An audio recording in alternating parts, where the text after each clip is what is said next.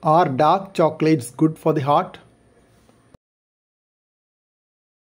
A study published in Circulation suggests that eating dark chocolate can improve coronary vasomotion and reduce platelet reactivity. Dark chocolates which contain 70% cocoa have a lot of flavonoids, potent antioxidants which help to overcome the oxidative stress. They also decrease the activation of blood platelets responsible for thrombosis.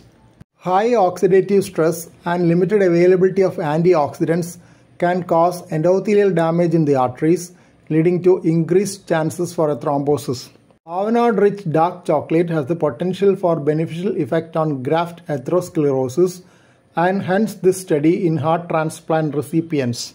They compared the effect of flavonoid-rich dark chocolate with cocoa-free controlled chocolate on coronary vascular and platelet function in 22 heart transplant recipients in a double-blind randomized study.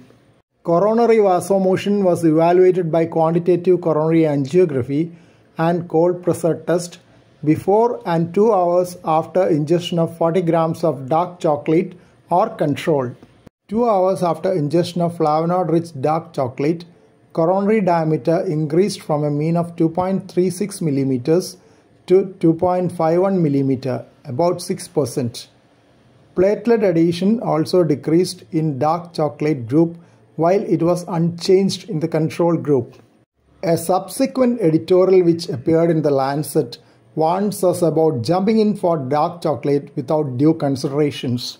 They pointed out that some manufacturers may remove flavanols because of the bitter taste and darken the chocolate. Flavanol content may not be there on the label as well. They also highlighted the need to balance the calorie content of diet as chocolates have significant calorie content. Traditional way of healthy balanced diet, low in sugar, salt and fat, and rich in fresh fruit and vegetables was suggested by the article. Please don't forget to subscribe to this channel for future updates and click on the bell icon for all updates. Thank you.